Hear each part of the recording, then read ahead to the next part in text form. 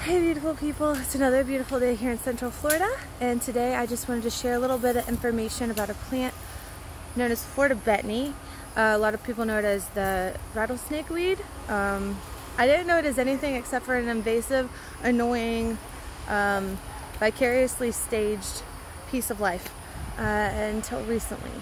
So I want to show you this plant and I want to tell you a little about what the benefits are.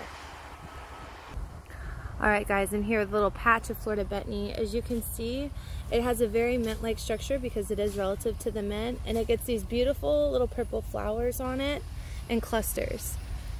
Now, this does not smell anything like mint. This is going to have a very musky, earthy tone, not many floral nodes at all.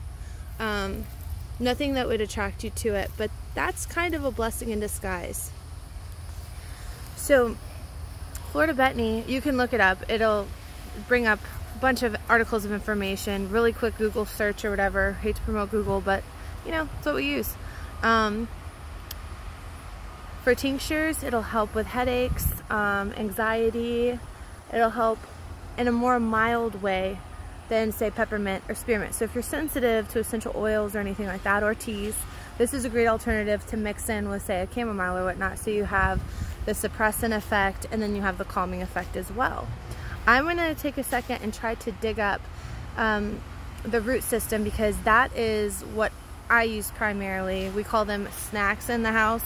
Uh, my daughter, she will consume handfuls of these at a time. And so in order to keep her occupied in the garden, I literally just say, hey, let's go pick some snacks. And that is the Florida betony root. So, um, oh, a little FYI about the roots. You are not going to find them on directly offshoots of the Florida betony that has flowered.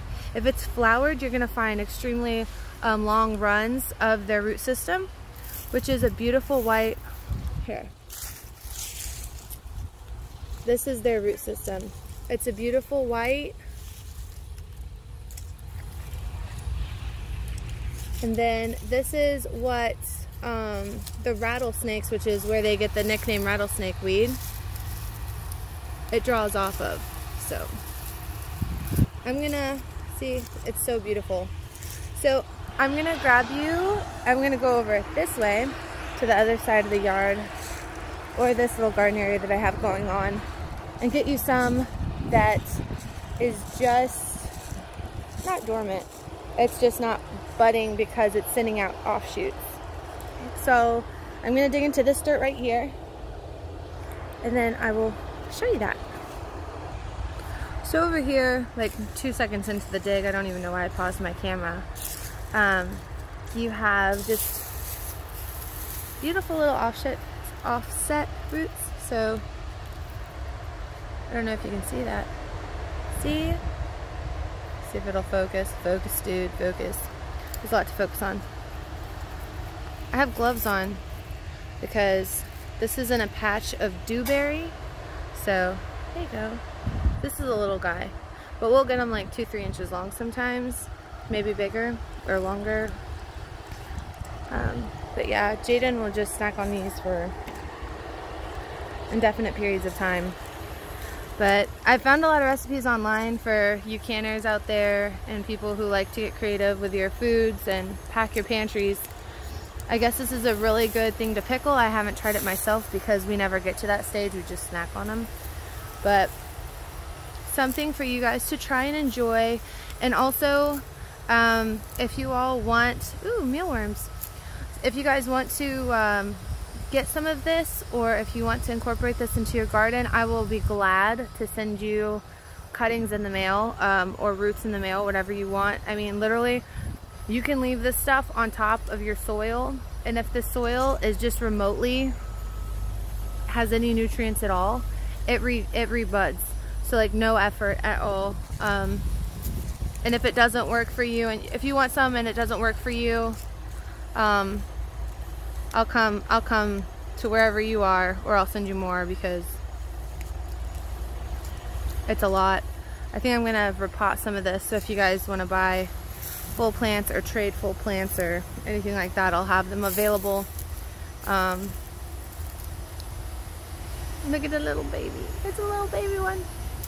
Yeah. you know, it's a lot of fun for the kids.